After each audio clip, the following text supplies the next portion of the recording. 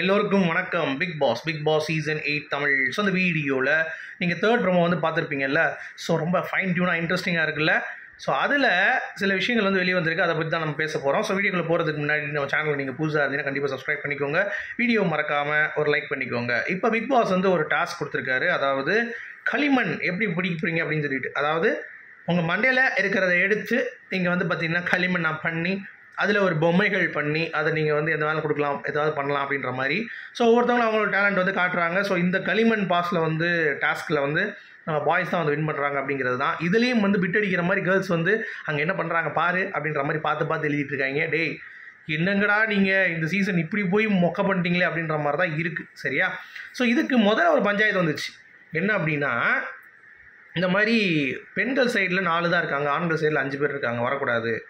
அப்படின்னு சொல்லி சொன்ன உடனே சரி நாலு பேர் போகலாம் அப்படின்ற மாதிரி பிளான் பண்ணி ஒரு விஷயம் வந்து பண்ணாங்க. ஸோ அது வந்து கொஞ்சம் என்னடா அது களிமண் வரப்போகுது அதை ஷேப் செய்ய போகிறீங்க அவ்வளோதானே ஷேப் நல்லா இருந்தால் தான் வந்து கொடுக்க போகிறாங்க ப்ரைஸ் அப்படிங்கிறப்ப.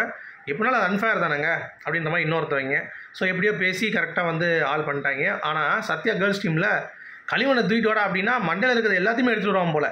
அவ்வளோ களிமண்ணை தூக்கிட்டு போகிறேன் டே பாய்ஸும் கொஞ்சம் வேணுமேடா. நீ பாய்ஸ் டீம்டா நீ முத கேர்ள்ஸ் டீம் விளையாடாலும் பாய்ஸ் டீம்டா அப்படின்ற மாதிரி சொல்லி புரிய வைடா அவனுக்கு எவராது அப்படின்ற மாதிரி தான் இருக்குது சரியா?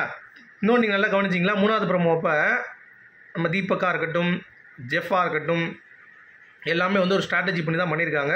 ஸோ தீபக் எப்படி வந்து பிக் பாஸ் போன இதில் வந்து ஸ்கூல் டாஸ்கில் ஒரு டாஸ்க்கை கொடுத்து பேச வச்சாங்க? சீக்ரெட் டாஸ்க் அதே மாதிரி பிக் பாஸ் வந்து சீக்ரெட் டாஸ்க் கொடுக்கதா வந்து சொல்கிறாங்க ஸோ அதனால தான் பாய்ஸ் வந்து கொஞ்சம் ஆட்டிடியூடாக அப்படியே மார்க் பண்ணுறாங்க தீபக்.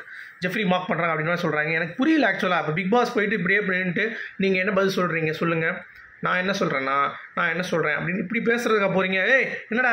அப்படி தான் என்ன பண்ணுவேன் என்ன பண்ணுவேன் அப் பேச மாட்டீங்களா? இது எப்பயுமே நடக்கிறது தான் உடனே அது ஏதாவது பண்ணாலே மாக்கிங்கிறது அப்புறம் எப்படி கண்டென்ட் வரும் சொல்லுங்கள் பார்ப்போம் ஸோ இப்போ ஜெஃப்ரி போய் அங்கே நின்று சொன்னான்ல நீ எல்லாம் ஒரு ப்ரொமோ த்ரீல நீ எல்லாம் ஒரு ராணி நீ எல்லாம் ஒரு படத்தளபதி அப்படின்றான். நீங்கள் என்ன பண்ணாலும் கம்பி சுற்றுற மாதிரி நம்ம கத்தி சுற்றுற மாதிரி நம்ம தீபக்கும் வந்து பார்த்தீங்கன்னா நீங்கள் என்ன பண்ணாலும் நாங்கள் அப்படி தான் பண்ணுவோம் அப்படின்றாரு பாருங்க. இந்த வரிஞ்சு கட்டுறதெல்லாம் வருது இல்லை இதெல்லாம் வந்து பிக் பாஸ் சொல்லி கேர்ள்ஸ் டீமை பிரச்சனை பண்ண சொல்லியிருக்காங்க அப்படின்ற மாதிரி ஒரு பேட்டர்னில் வருது. சரியா? அதுலேயும் வந்து இந்த குச்சி செங்கோல் அந்த மாதிரிலாம் வருதுல்ல. ஸோ இதெல்லாம் வந்து கோர்வையாக இருக்குது அப்படின்ற மாதிரி சொல்கிறாங்க ஸோ அப்போ மீண்டும் கரடி காரி துப்பின மொமெண்ட் மாதிரி ஆயிடுச்சு பிக் பாஸ்க்கு ஆனால் இந்த முறை நமக்கு காட்டப்படலைன்னு சொல்கிறாங்க லைவில் ஏன்னா நம்ம ஏற்கனவே கம்ப்ளைண்ட் பண்ணியிருந்தோம் நம்ம ரிவ்யூவரா இந்த மாதிரி ஏன்டா அதை எங்கே காட்டுறீங்க? எங்கிட்ட காட்டாமல் சொல்லுங்கடா அப்படின்னு சொல்லியிருந்தோம்ல. அது நடந்திருக்கு. அங்கே இருப்பாங்களே எடிட்டரு அந்த மாதிரி. அதை வந்து வேதனைப்பட்டு பேசியிருக்காங்க. இன்ஸ்டாகிராமில் அதான் போட்டு உரிச்சிட்டு இருக்காங்க பிக் பாஸ் என்னடா நீங்கள் ஆ? மொதல் சரி சொல்லிட்டீங்க. இப்போ எங்ககிட்ட இப்படி வந்துருச்சு நியூஸ் எப்படியும் எடிட்டர் வந்து சொல்லியிருக்காங்கிற மாதிரி வந்துருச்சுல்ல. அதை கட் பண்ணிடுங்க அப்படின்னு சொல்லியிருக்காங்களாம். ஸோ அவங்க பேசுனதை கட் பண்ணி கடைசி மொதல் கட் பண்ணி கொடுத்துருக்காங்க. பேசுனதோட இந்த மாதிரி சீக்கிரம் டாஸ்க் பண்ணுங்கள் அந்த மாதிரி கேர்ள்ஸ் டீம் வந்து இது பண்ணுங்கன்னு சொல்லி. அதுக்கடுத்து அதை கட் பண்ண சொல்லிட்டாங்க. ஏன்னா மக்களுக்கு சுவாரஸ்யம் போயிடும் அப்போ இதுவும் சீக்கிரம் டாஸ்க் தான். பாய்ஸ் டீமுக்கு தெரிஞ்ச ஒரு விஷயம் தான் ஸோ அப்படி இருக்கிறப்ப இவங்களை வச்சு என்ன பண்ணுறது சொல்லுங்கள் பார்ப்போம்.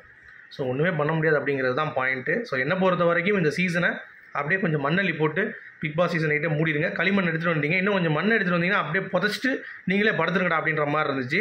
சரிங்களா? ஸோ சாச்சனாவுடைய கோவம் சௌந்தர்யாவோட கோவம் நியாயமானது. ஏன்னா அவங்களுக்கு தெரியாது என்ன நடக்குது அப்படின்னு சொல்லிட்டு.